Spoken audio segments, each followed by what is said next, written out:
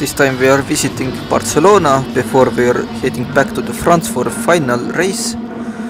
And uh, start is now given to the drivers.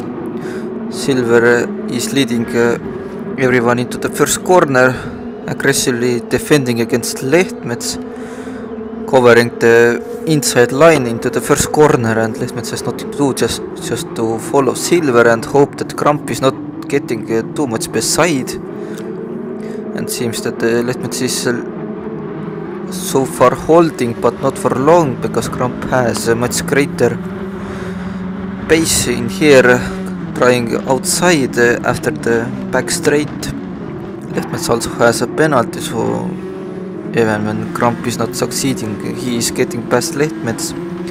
Here Linnukene is a little bit struggling with traction, uh, and Lehtmets has uh, carried out his uh, penalty, and Coolios is uh, doing serious mistake, and luckily no nobody got uh, damage from that except Coolios itself, and Kramp also is uh, forgetting what the brakes. Walkman seriously needs to look what is their issue with the braking system before they're going to the final race. But Kramp is losing many positions because of that uh, mistake.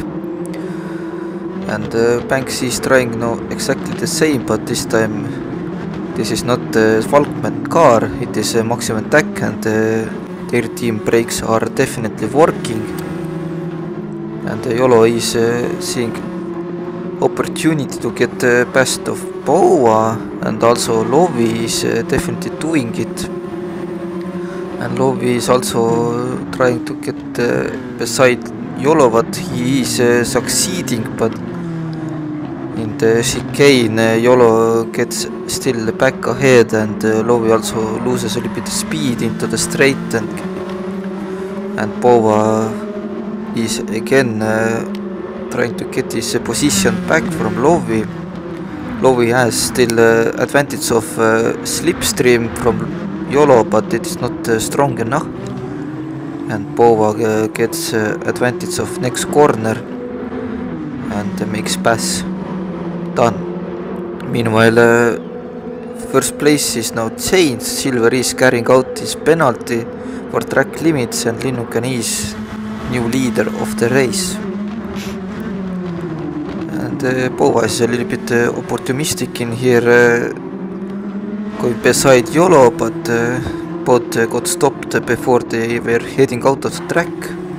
So it was uh, luckily. So this time racing, no serious collision happened. And uh, Mihkel is uh, carrying out his penalty also, and uh, here is a little bit dangerous situation where uh, all three drivers behind Mihkel are trying to get through when uh, he is uh, ghosted uh, when carrying out a penalty. This definitely was very close uh, to be a very big uh, accident and a lot of uh, broken cars. But uh, Boa again using his confidence into the corner after back straight and this time of course against teammate too it was probably easier anyways while now Boa's teammate Mihkel is now need to be defending against Lovi to not uh, fall too many positions uh, back. Mihkel is uh, definitely not giving any much room for Lovi, but Lovi still has a straight line speed greater than Mihkel and gets ahead, but still gets penalty from track limits.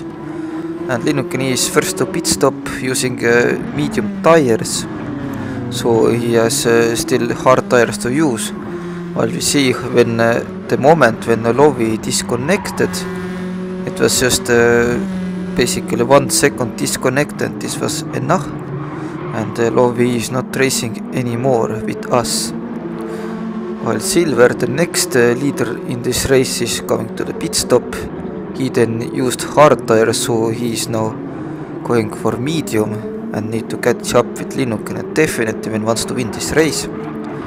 While Goldman is getting passed by Linnukene and Goldman's uh, teammate Lehtmets is now doing revenge kinda and uh, getting uh, ahead of Linnukene. But uh, there is a little bit of reminder that Lehtmets is definitely using uh, different strategy than Linnukene.